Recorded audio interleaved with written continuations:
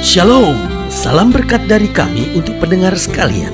Saat ini pendengar akan diberkati dengan program Hari ini Harinya Tuhan bagian yang ke-8.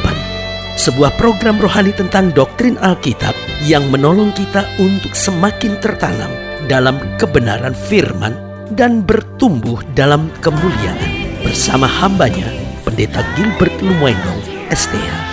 Banyak orang merasa doktrin Alkitab sebagai sesuatu yang membingungkan Tetapi tahukah saudara bahwa doktrin Alkitab intinya adalah memahami Alkitab dengan benar Dengan pemahaman yang sistematis Sehingga kita terus dapat tertanam di dalam kebenaran firman Sehingga kita terus bertumbuh di dalam kemuliaan Allah Buka hati saudara sekalian untuk menerima berkat-berkat firman-Nya hari ini.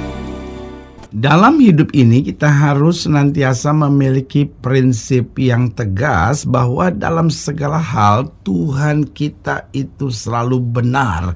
Bahkan dia benar yang pertama ketika dia mengizinkan masalah dan persoalan terjadi dalam kehidupan kita. Nah, di sini letak persoalannya. Seringkali ketika kita menghadapi masalah, kita menghadapi persoalan, kita menghadapi masa-masa yang sukar, kita marah sama Tuhan, kita berontak sama Tuhan, kita kecewa sama Tuhan. Tetapi tahukah saudara bahwa Allah kita turut bekerja dalam segala perkara untuk mendatangkan kebaikan. Artinya, kalaupun Tuhan mengerjakan hal-hal yang kelihatannya sulit untuk kita mengerti, kok dia dia mengizinkan masalah persoalan ini terjadi dalam hidup saya. Aduh Tuhan saya nggak kuat, saya nggak bisa, saya nggak tahan. Padahal Tuhan janji bahwa pencobaan yang kamu alami tidak pernah melebihi kemampuanmu. Artinya mulai hari ini belajarlah tenang di tengah masalah. Belajarlah kuat di tengah persoalan.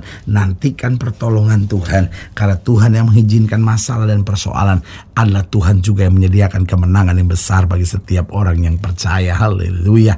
Yang kedua saya pelajari dia tetap tetap benar meskipun dia tidak menjawab doa-doa kita. Kadangkala buat kita, kita ingin Tuhan mengerjakan semua yang kita mau. Tetapi Kristus mengajar kita berdoa biar bukan kehendakku yang jadi, melainkan kehendakmu lah yang terjadi. Berarti dari sini kita diajarkan bahwa setiap kita, kalaupun doa kita tidak dijawab oleh Tuhan, karena Tuhan punya sesuatu yang lebih baik. Alkitab berkata Tuhan tidak beri batu untuk anak-anaknya minta roti. Artinya kadang kala doa kita, kita sedang minta batu sama Tuhan. Kita nggak sadar bahwa apa yang kita minta ini dapat menjerumuskan kita. Tuhan tidak menjawab. Kenapa? Karena Tuhan punya sesuatu yang lebih baik lagi buat kita. Haleluya. Bahkan yang ketiga saya pelajari, dia tetap benar meskipun dia izinkan kegagalan di dalam hidup kita. Saudaraku yang kasih dalam Tuhan, kadang kala kita marah sama Tuhan.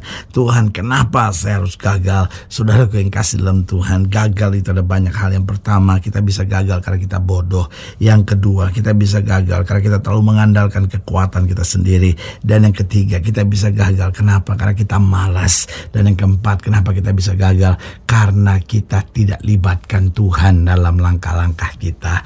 Berarti waktu Tuhan izinkan kegagalan buat kita, Tuhan sedang mau mengajar kita, mari kamu yang letih lesu dan berbeban berat, aku akan beri kelegaan kepadamu. Kegagalan bukan akhir bagi orang percaya, tetapi kegagalan adalah saat untuk belajar, untuk kemudian bangkit kembali dan melakukan perkara yang lebih besar lagi. Haleluya. Dan yang keempat, bahkan dia benar ketika dia tuntun kita menghadapi peperangan-peperangan yang sukar. Mungkin sudah berkata, kok begitu meneta? Karena Tuhan tidak pernah mendidik anak-anaknya menjadi manja. Dia sedang melatih hati kita menjadi tentara-tentara Allah yang gagah berani. Dan untuk itu dia siapkan kita masuk dalam peperangan. Dia izinkan kita menghadapi peperangan-peperangan yang sukar. Tetapi ini yang Alkitab katakan, Tuhan melatih tanganku untuk berperang. Tuhan melatih kakiku untuk menginjak pada bukit-bukit batu. Berarti saudaraku yang kekasih dalam Tuhan, ketika engkau menghadapi peperangan-peperangan iman, ketika engkau menghadapi musuh di sekitarmu yang berusaha menjelekkanmu, menghancurkan engkau, menjatuhkan engkau, jangan balas yang jahat dengan yang jahat. Karena kita berkata peperangan kita bukan melawan darah dan daging, tetapi melawan roh-roh jahat di udara. Alkitab berkata senjata perang kita bukan dunia, tetapi senjata yang diperlengkapi dengan kuasa Allah. Haleluya. Karena itu setiap saudara yang kekasih dalam Tuhan, hari ini ingatlah bahwa Tuhan itu benar. Saudara-saudara yang sedang bersungut-sungut, saudara-saudara yang sedang kecewa, saudara-saudara yang sedang mundur dari Tuhan, saudara-saudara yang bahkan sedang berontak sama Tuhan, berkata Tuhan gak adil. Kenapa Tuhan izinkan semua ini terjadi? Hari ini robah cara pikir saudara, mulai datang pada Tuhan dengan hancur hati dan bilang Tuhan engkau benar sebab apa pun yang Tuhan izinkan terjadi pasti ada maksud yang indah buat kami. Orang percaya haleluya. Selamat datang dalam program kita hari ini hari ya Tuhan. Sebuah program rohani yang kembali mengingatkan kepada kita betapa pentingnya kita menjadikan firman Tuhan sebagai dasar kesaran hidup kita. Karena selama kita jadikan firman Tuhan sebagai dasar kesaran hidup kita langkah-langkah ke depan kita penuh dengan kepastian kemenangan berkat mujizat dan perkara-perkara besar. Haleluya. Dan di dalam program ini kita sedang membahas tentang Tuhanlah yang benar apa pun yang terjadi Tuhan tidak pernah salah. Kenapa Tuhan tidak pernah salah? Yang pertama karena dia mengasihi kita.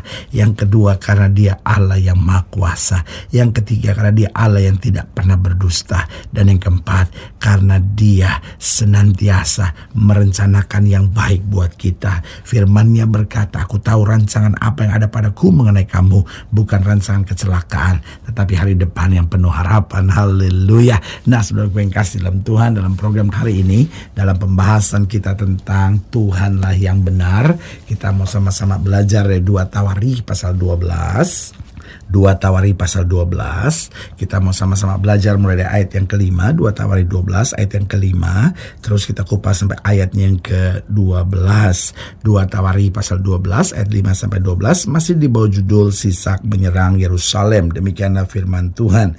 Nabi Semaya datang kepada Rehabeam dan pemimpin-pemimpin Yehuda yang berkumpul di Yerusalem berhubung dengan ancaman Sisak dan berkata kepada mereka beginilah firman Tuhan kamu telah meninggalkan aku.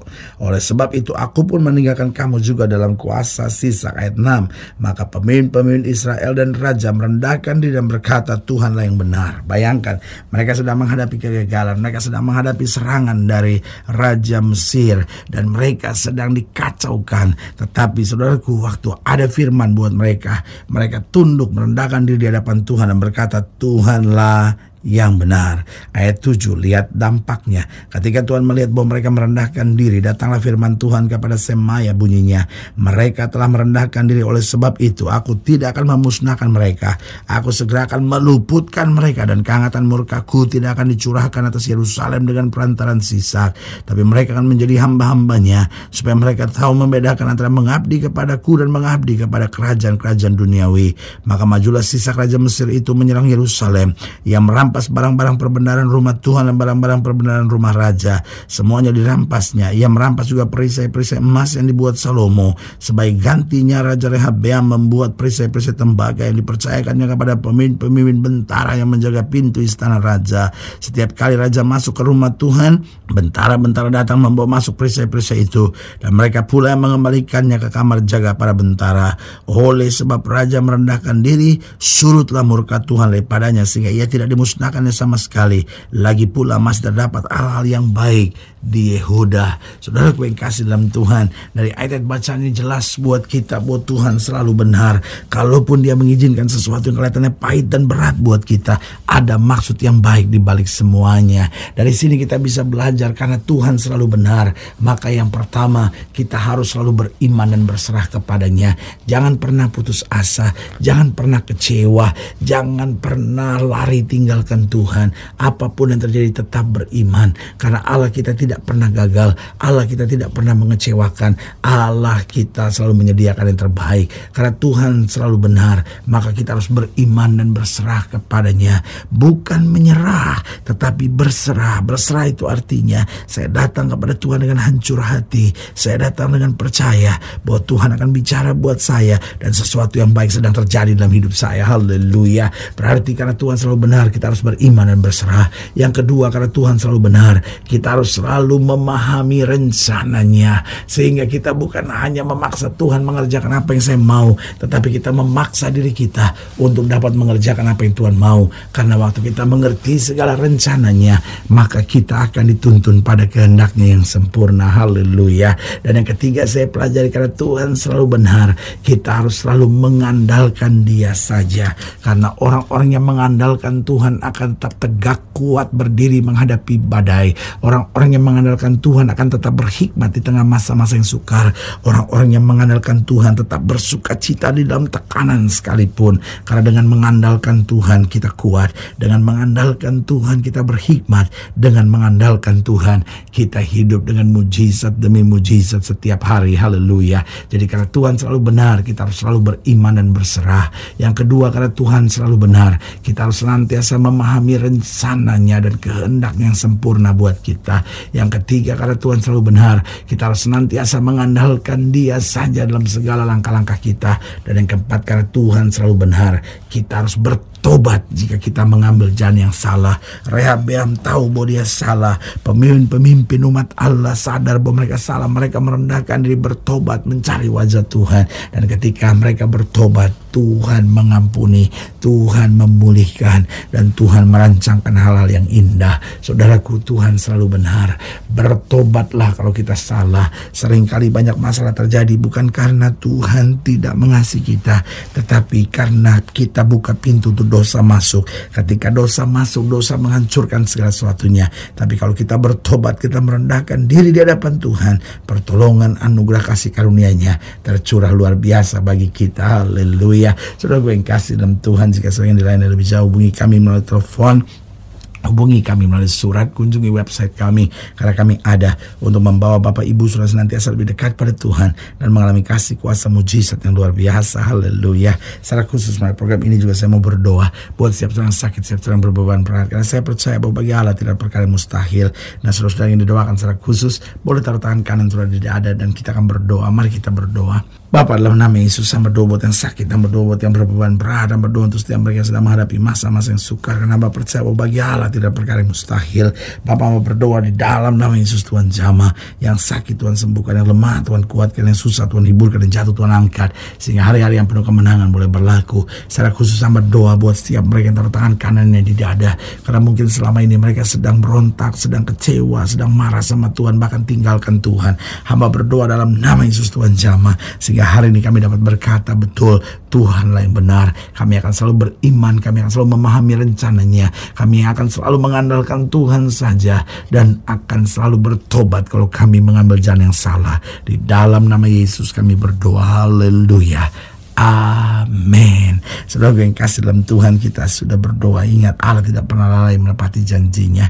Inilah saatnya buat kita untuk bangkit bersemangat bersuka cita dalam menghadapi segala perkara. Karena kita tahu Yesus hidup, Yesus berkuasa dan selalu menyediakan yang terbaik buat anak-anaknya. Doa saya menyertai saudara sampai berjumpa pada program berikut dan jangan lupa jadikan hari ini harinya Tuhan. Haleluya.